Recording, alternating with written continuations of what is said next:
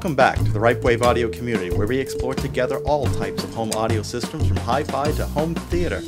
My name is John, and for this video, we report on the adoption of immersive formats in AV receiver processors available in 2020, and address the question, who's winning? Immersive movie formats were made available for home theater applications in the last decade, but their adoption has been slow.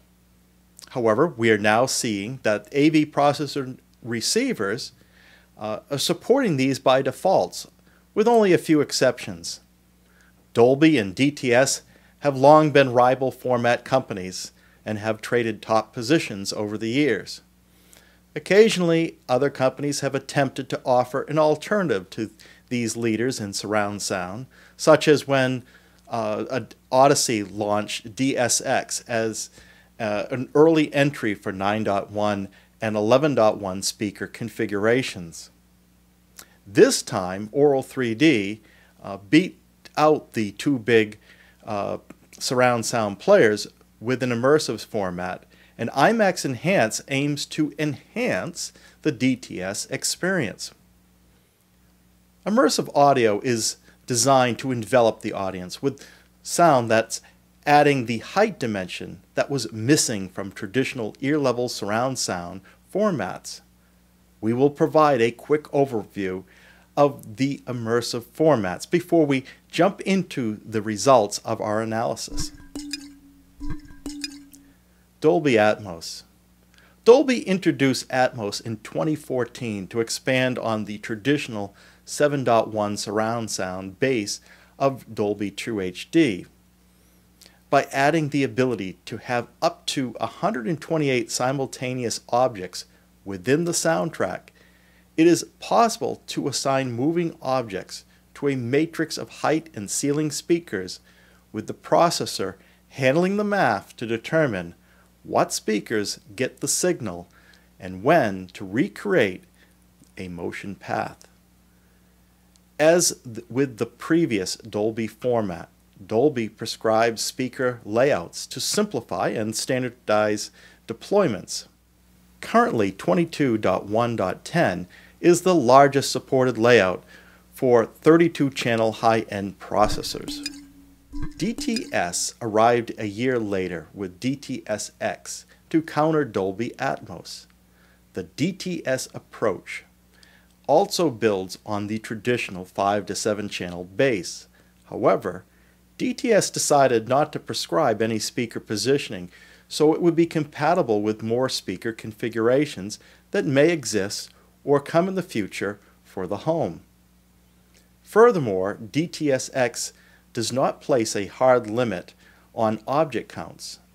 However, DTS-X is limited to 11.1 speaker counts. It is this limitation that has given Dolby Atmos more runway to be more successful with those looking to leverage the full capabilities of 16 plus channel processors. However, DTS would step up in their second act, DTS-X Pro. Now, Act 2 came in 2019 for DTS with their introduction of DTS-X Pro which extended the speaker count of the original DTS-X past 12 channels with support for up to 32 speakers. IMAX Enhanced. IMAX, uh, who had been widely known for delivering exceptional cinema experiences, decided to jump into the home market in an effort to provide an elevated experience for the home theater, similar to what they had accomplished for the commercial environments. IMAX Enhance launched in 2018 to provide IMAX Enhance master content, IMAX Enhance certified devices, and IMAX Enhance rendered playback of that content on those devices per the IMAX standards. To deliver the sound, IMAX had to deviate from their theater approach. That theater approach being using full range speakers, and no LFE channels. Instead, they now will have to provide a mix, more aligned with home applications with an LFE channel. To accomplish this, IMAX Enhance builds on DTS technology to provide their signature sound. IMAX Enhance also addresses video playback and competes with Dolby Vision in that regard. Auro 3D. Auro Technologies was actually the first company to enter the immersive home market. Their approach is to have up to three defined layers a normal ear level, which is level one, surround. Uh, to this, they add an upper height layer two and an optional layer three, top or overhead layer. The Auro 9.1 layout was introduced in 2006 and used five channel bass with four height speakers in the second layer. Auro 10.1, launched at the same time, provided the ability to add a Voice of God channel in the center of the ceiling above the audience. In 2010, Auro 3D was expanded with Auro 11.1 layout, which increased layer 2 with a center height speaker. Auro 13.1 was introduced simultaneously and added two rear surrounds at layer 1 to the Auro 11.1 layout and can serve as a good expansion for those with 7.1 deployments. Now, regardless of the speaker layout used, Auro 3D is a fully discrete system without the use of objects as with Atmos and DTS:X. AuroMax. For the Auro 3D format to incorporate more channels, they decided to partner with Barco and develop a solution that uses objects to fill in with speakers beyond the Auro 13.1 deployment up to 22.1 or 26.1 installations. Now currently, AuroMax, which was introduced in 2015, only exists for commercial cinema with no support found in home processors or movie distribution. Now, for the RipeWave audio report on who's winning. After an inspection of 138 AV processor receiver models, which have been available in 2020, we have the following data. Dolby Atmos and DTS:X come in with an equal and commanding share of processor support at 91%. DTS:X Pro, which arrived late to the party in 2019 naturally has the lowest number of processor support at only 12%. While IMAX Enhance only has an extra year in the market over DTS:X Pro, it has already made its way into 42% of these models. Now, given it is an enhancement to DTS:X, uh, implementations shouldn't be too hard for companies willing to pay the license fee for this capability. At 34%, Auro 3D uptake has been a bit disappointing. Many regard this format as having a superior immersive experience.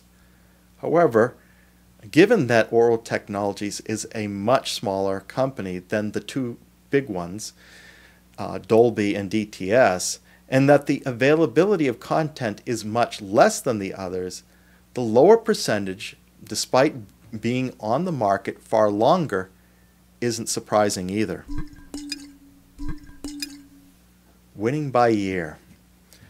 To look deeper into how these formats are trending, we assembled a table that shows adoption over the years. Now, keep in mind that we only included data for models sold in 2020.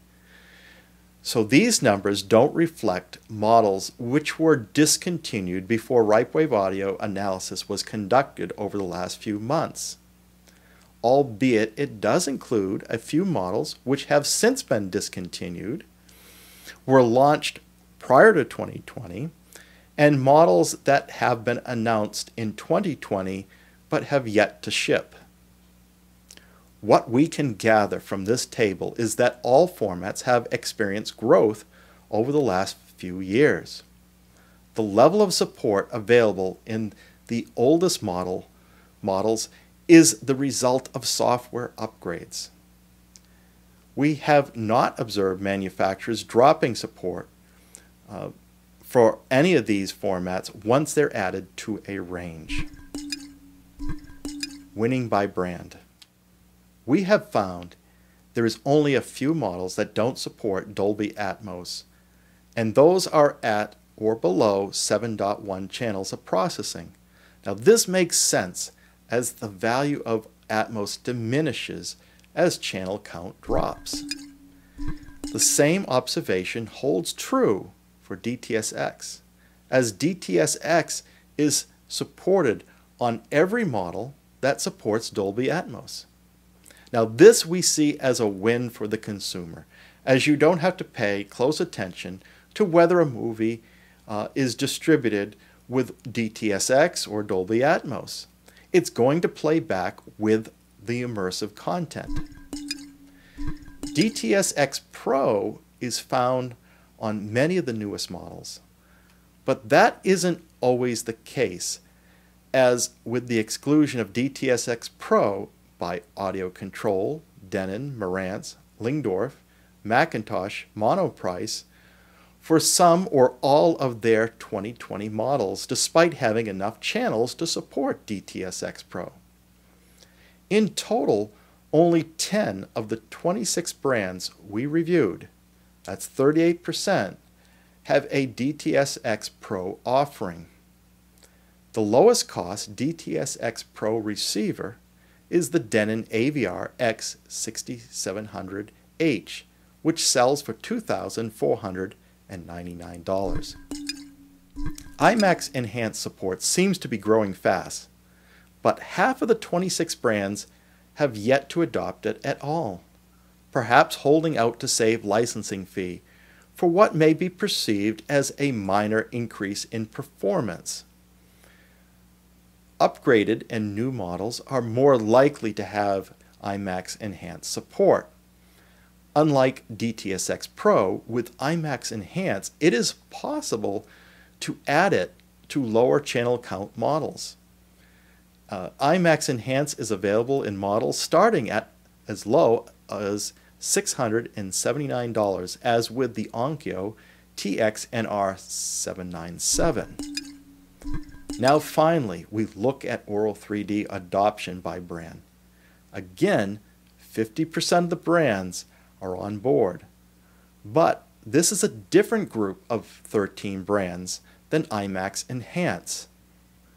The trend we see is that Auro 3D is most popular with the premium and home cinema brands like Datasat, Audio Control, Lyngdorf, Storm Audio, and Trinnov having the widest adoption.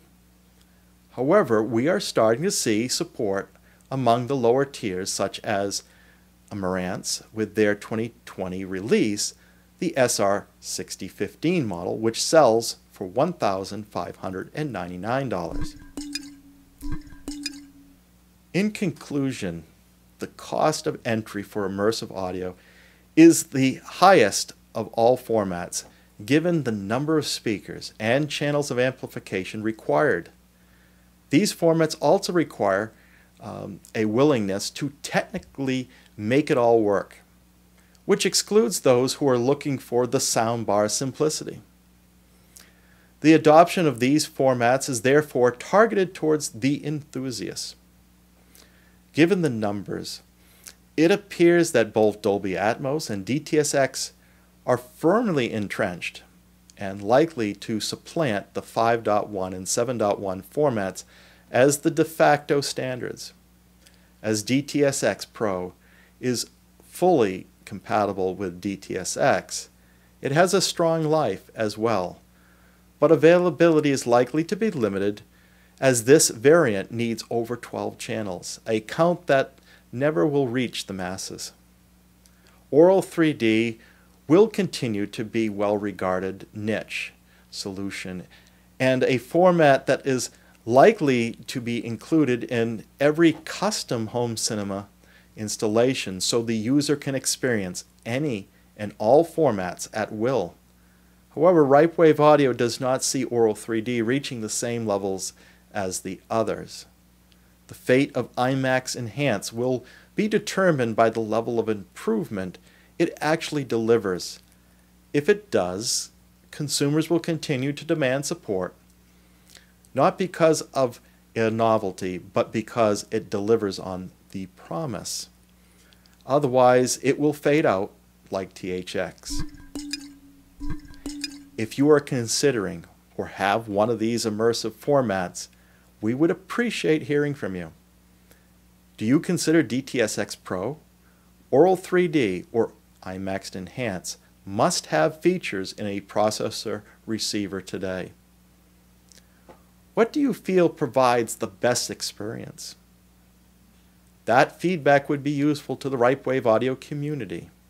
Furthermore, if you enjoyed this video and are interested in enhancing your audio experience, please like and subscribe to this RipeWave audio community and be sure to select the bell icon so you'll be notified as soon as the next video is posted.